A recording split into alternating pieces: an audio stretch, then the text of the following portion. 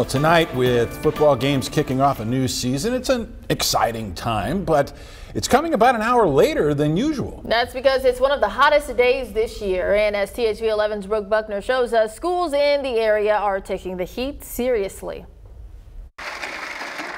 Ice, ice, and more ice. That seems to be the word of the day for coaches and players gearing up for Friday night's football games. This is just kind of unusual. I mean, it's always low 90s, but you know, this is a little bit a little bit more intense. Catholic High School's athletic director Tim Ezai says because of the dangerous heat, they're going to take more breaks at tonight's game against North Little Rock.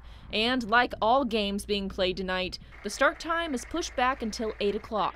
We're going to add uh, each quarter, they're going to have a mandatory break in the middle of the quarter and uh, take some extra water there. And, and I'm sure we'll have more water and ice on the sidelines. Their training staff over there is great. The team will also have a shorter pregame.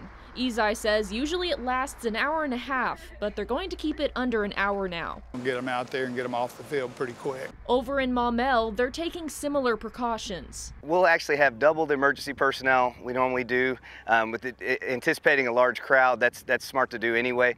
But with this heat, you know, we want to make sure we're prepared for it. Maumelle High School's athletic director Kirk Horton says they're adding extra breaks too. We'll have two per quarter or more if necessary. And just in case the heat does get the best of someone, they have ice tubs ready.